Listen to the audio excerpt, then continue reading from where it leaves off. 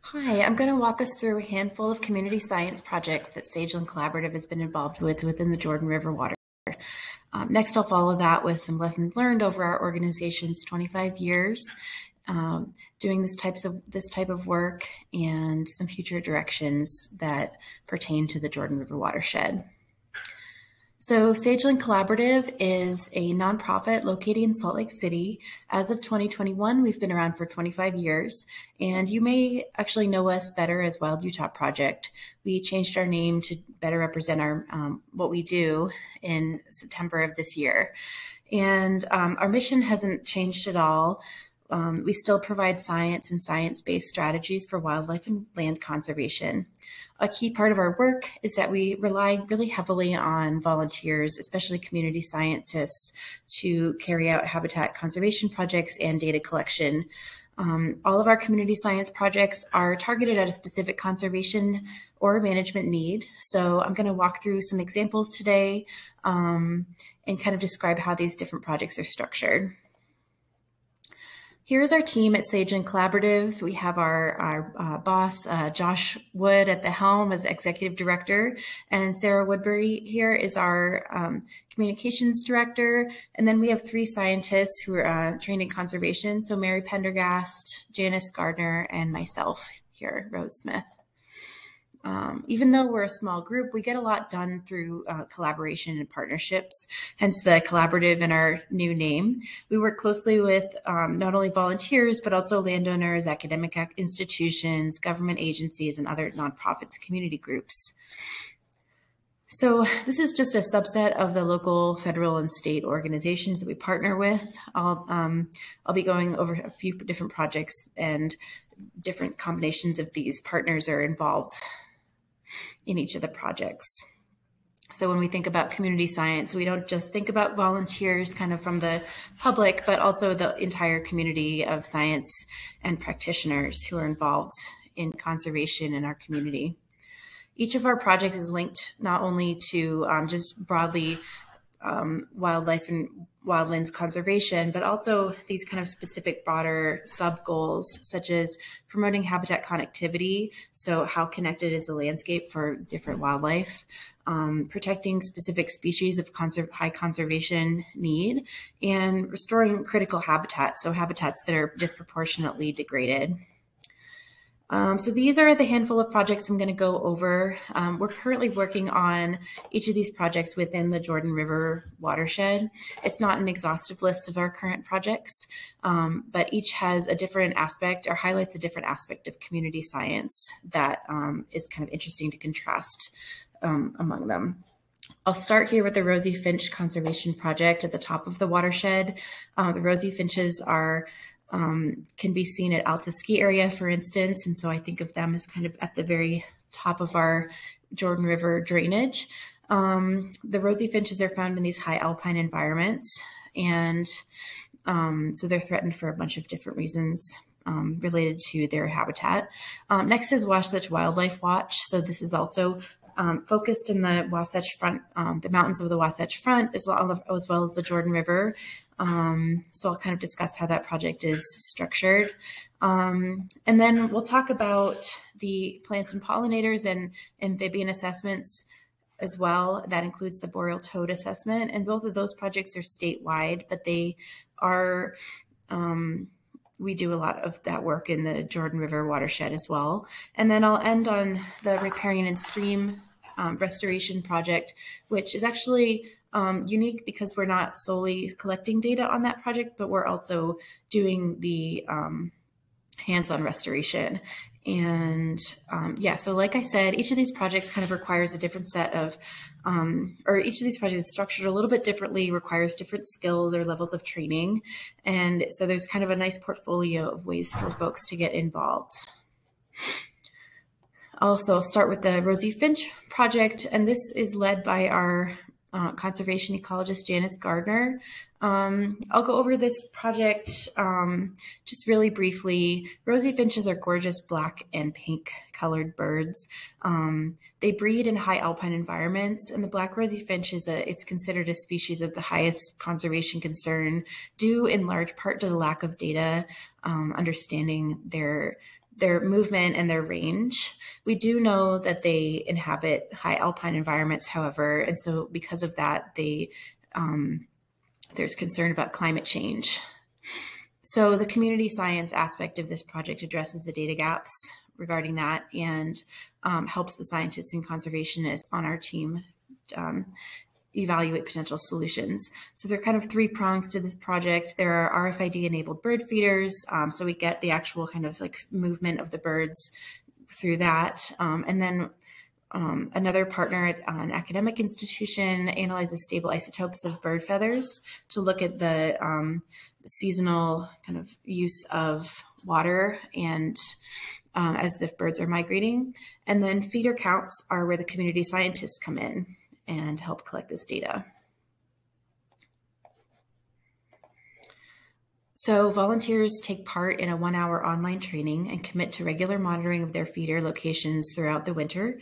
Data collected by these volunteers is also used to inform the next steps um, for a science and practitioners working group that Janice Gardner is leading this winter after compiling se several compiling several years of data. Um, next, I'm going to just briefly describe Wasatch Wildlife Watch. So this project is motivated by the um, need to understand wildlife ecology at that wildlife wildland urban interface. We define that as kind of the zone where human habitations are encroaching on lands where maybe wildlife were used, accustomed to not being um, or having the lands to themselves. So there's a great need for data on kind of how the wildlife or how different um, wildlife um, species are moving around. Large mammals, for instance, big cats, how they move around, how they use the trails that humans also use, um, and, and, how we can best manage for them. This um, project is also um, um, they're also partners with yeah, UDOT, so we work on kind of like road mitigation stuff as well. Um, and it's been a wildly successful project so far. It began in 2018, and since then, our volunteers have, and staff have, have established 1,400 camera sites. So these are camera traps that take a photo when there's movement. Um, and that includes 250 new cameras that were established in 2021. Um, over 10,000 volunteer hours were, have contributed to date, um, including 3,000 volunteer hours in 2021. Um, as you can see from this map, so if you kind of squint, you can see Salt Lake City in the background, and then these individual dots are all the camera traps. Um, we cover the Wasatch Front pretty well, as well as the um, Jordan River Parkway with these camera traps. So we have a really great um, data set kind of looking at the presence of um, wildlife throughout this urban wildland interface. This project has a, um, a, high commitment level for volunteers. They have to attend an online training and they have to commit to several visits to their assigned camera throughout the summer. There are separate um, volunteer opportunities to go through the images over the winter. Some volunteers like to do both with their own camera data. Others like prefer one or the other. So it's an accessible activity for those who aren't able to hike. This work is so far resulted in six peer-reviewed papers describing the spatial and temporal um, patterns in wildlife dispersal. This type of data set can be used to inform best management practices such as signage or wildlife bridges. Um, but this method is also just super useful for other regions that have similar kind of urban wildland interface issues um, and uh, uh, showing a way that they can uh, collect data and understand these issues where they live. Another one of our important projects is the amphibian habitat assessment, and this includes our work with the boreal toad. Um, this work is largely, um, we, we partner closely with Hogle Zoo on this project. Um, boreal toad was once a common amphibian in these mountains, um, but is pending endangered stat status currently. Uh, threats to the toad include habitat degradation of riparian areas. Um, they thrive kind of in the wet meadows and riparian zones of the, uh, the Rocky Mountains. Um, also, they're threatened by pesticides, disease, including chytrid fungus. Um, so cataloging this habitat and also the toad presence in their habitat is crucial for um, just understanding their, their current extent and disentangling different impacts that might help to um, better conserve the toad. this project uh, for volunteers involves a range of different commitment levels. So volunteers all need to participate in a two-hour training, and this has been held online since 2020. Um, and then they carry out independent site visits to pre-established locations. Um, so there's um, hiking involved and the um, some data collection on the water quality um, and just the habitat quality overall. There's also some um, swabbing for the chytrid fungus if folks are up for that as well.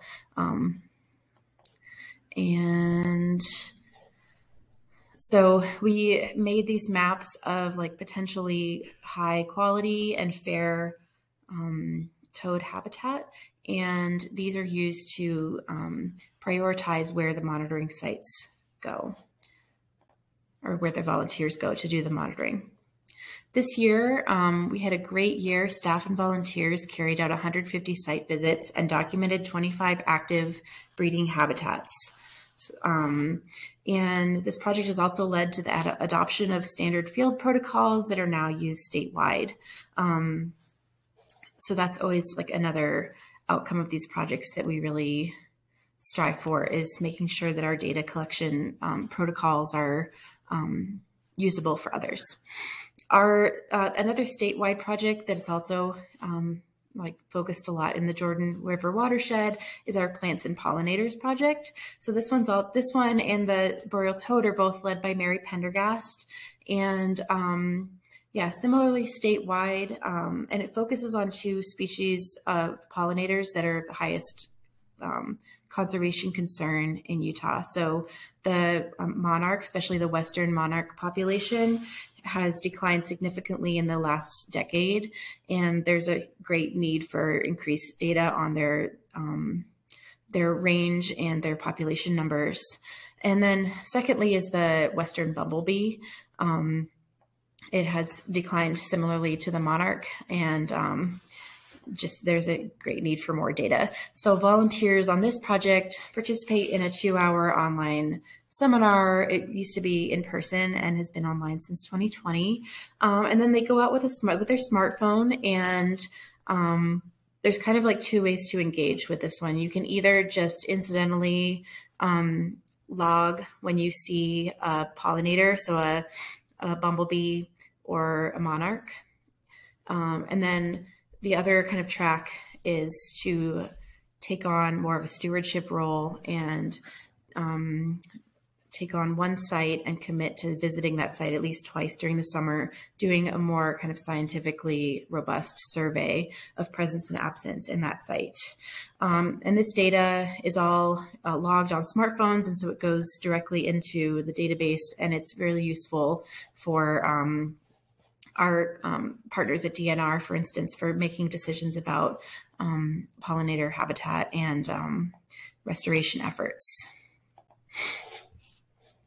Um, so yeah, these data gaps are really, um, they're really a huge issue for pollinator conservation. And even just understanding where the milkweed habitat is, which is crucial for the monarch butterfly, um, is really helpful for um, future conservation efforts. Um, and we also plant milkweed seeds at our stream sites when we can, at our stream restoration sites. So now I'm going to go into that stream and riparian restoration program, and I'm going to give you all a little bit of history on this one, um, and then I'll kind of talk about the volunteer side last. So um, just a bit of a, as a bit of motivation, 40% or so of streams in Utah are, have been classified as degraded. Um, our stream and riparian program seeks to address this both through monitoring and also on the ground restoration of stream and riparian habitat.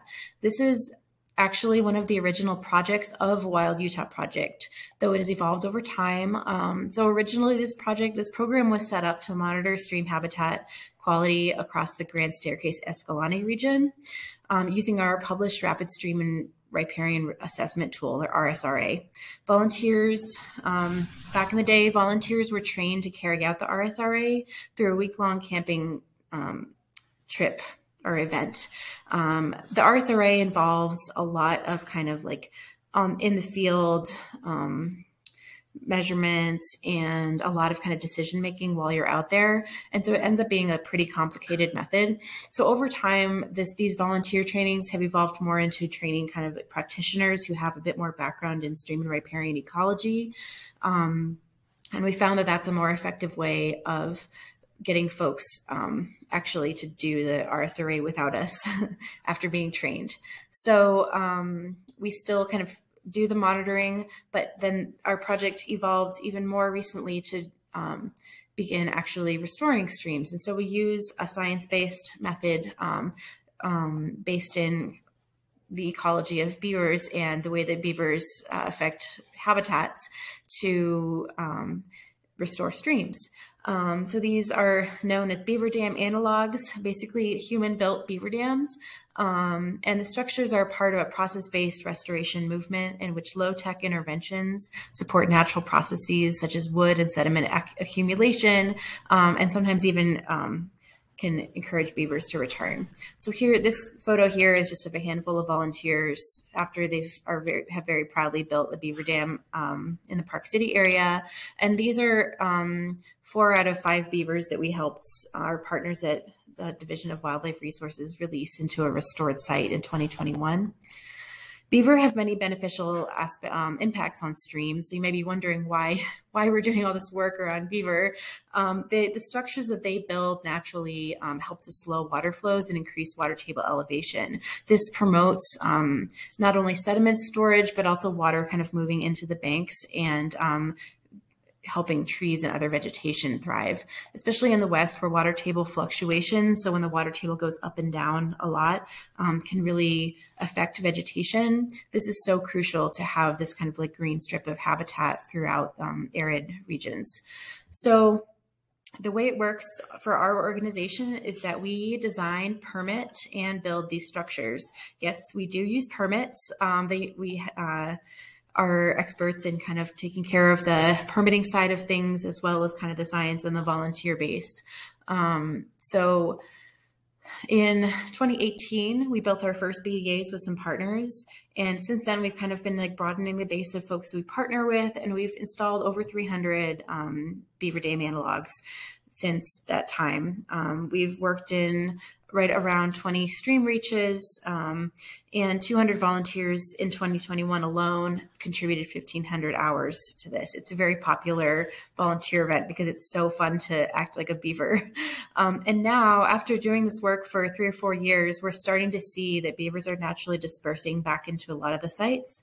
And there's one site where we've actually been kind of cleared to help folks uh, at dwr division of wildlife resources um, relocate beavers who are trapped elsewhere back into streams and they've established in those streams as well.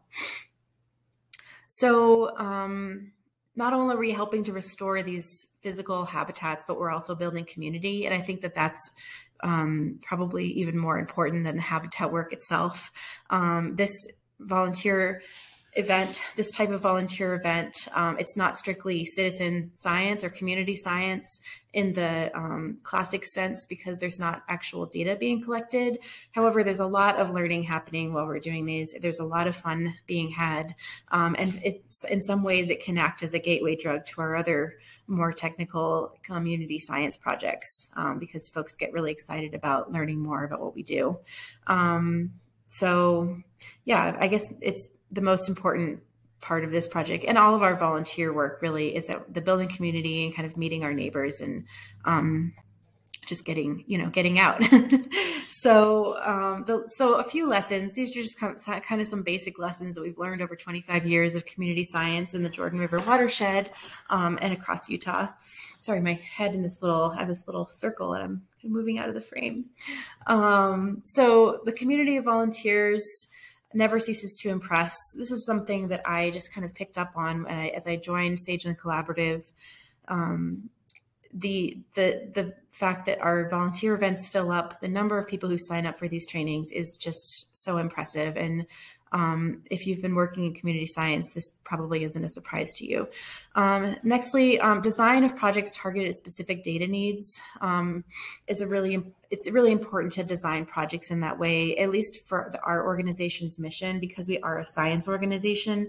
We are not just doing this data collection for the sake of education. Um, it's really um, targeting people's efforts toward a specific goal. And I, in my experience, that has been it makes for a better um, it, it makes for a better experience for the volunteers too because they feel more connected to a part of a, a community um, and then the third point is that high quality training leads to higher quality data collection so the the design and the training of the projects really does um, impact how how well things go. And um, during the 2020 2021 years, uh, we've shifted a lot of our training online, and so these resources are just available for anyone to take a look at, and um, that has kind of allowed us to have this kind of polished standing um, training um, materials out there that are high quality. And that's really helped us to collect, I think, even more data than we had in previous years. Um, and then the last lesson is kind of kind of comes from that stream rest or the stream monitoring stuff um, is that it's not every method is suitable for all types of groups. And um, like for instance, the riparian habitat monitoring is um, there is a community building aspect to that those like broader trainings that's really valuable but um, some uh, some so, some methods are just not quite suitable for folks to kind of take and and run with, especially in the the world we're currently living in. So methods that are more based on maybe like asynchronous um, data collection, like our pollinator pursuit, and like uh, app based or phone based stuff, um, tend to be really um, um, really valuable. And then if you're not using kind of like an asynchronous method, um, having more of like a group um, event, it can be really effective as well. But something in the middle there where you kind of need a few people, but it's not being led by scientists, that's where it can get into a bit of a gray area and be a little less effective at collecting high quality data if that's your goal. So, having gone through kind of a handful of projects that we um, carried out in um, recent years, I'll just highlight a couple things that I'm looking forward to within the Jordan River watershed, specifically um, along the Jordan River Parkway, and then our Great Salt Lake wetlands and waterbirds work. Oops. So we've um, at Sageland have become involved with the Big Bend um, of the Jordan River and that the restoration project that's going on, developing a, basically an oxbow channel to slow down high flows and increase riparian habitat. And our role here is to help design the ecological data collection methods um, and help bring in um, community members to be engaged at this site. And our the way that we kind of conceptualize this in this very high tech diagram here is that the data collection itself and the community engagement together will help inform how to best manage the site.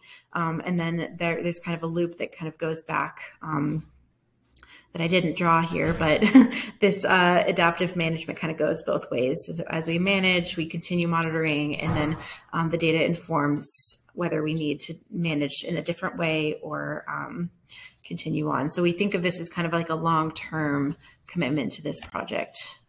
Um, and then another program that we've that has kind of already started but is spinning up um, increasingly is um, with Janice Gardner at the helm is our Great Salt Lake Wetlands and Waterbirds project. And so we foresee in the future there being some some opportunities for community science here as well. So far, we just uh, we've had um, uh, we published a really great set of um, um, science needs basically and management needs based on interviews with um, with folks who are practitioners on the ground in Great Salt Lake.